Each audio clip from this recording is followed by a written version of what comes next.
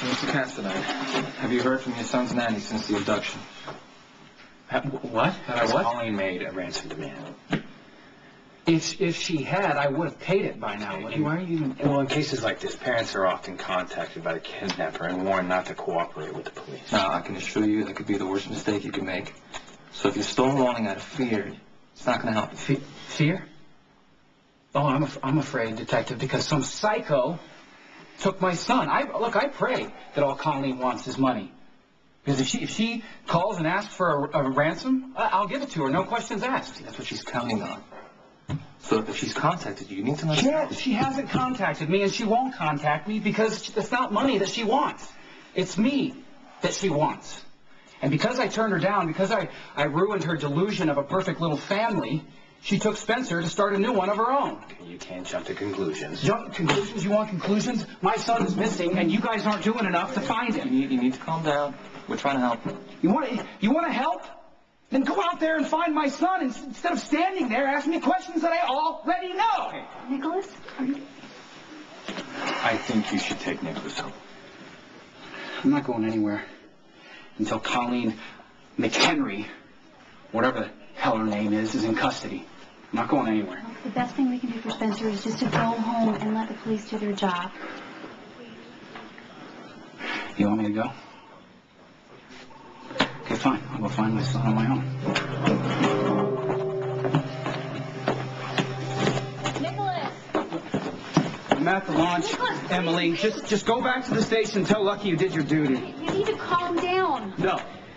No, I don't want to calm down. I'm sick of people trying to tell me to calm down. My son is out there somewhere, alone, and scared to death because I couldn't keep him safe. That is not true. Yes, it is. Yes, it is.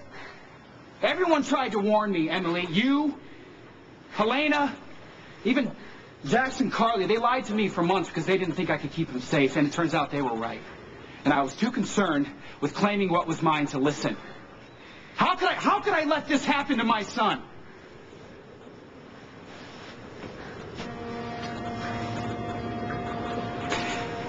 I, br- I brought her into my home, Emily. I gave her access to my son.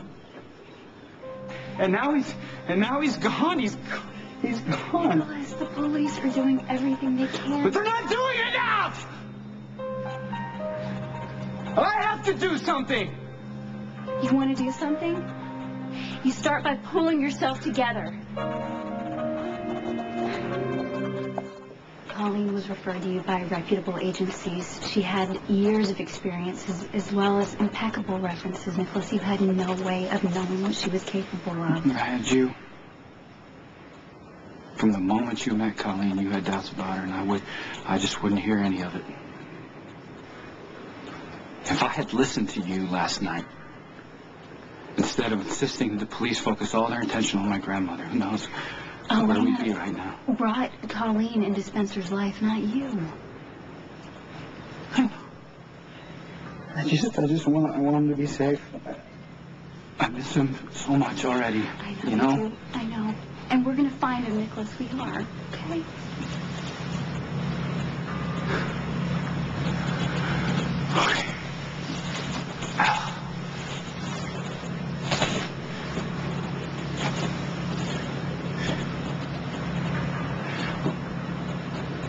What if Colleen panics?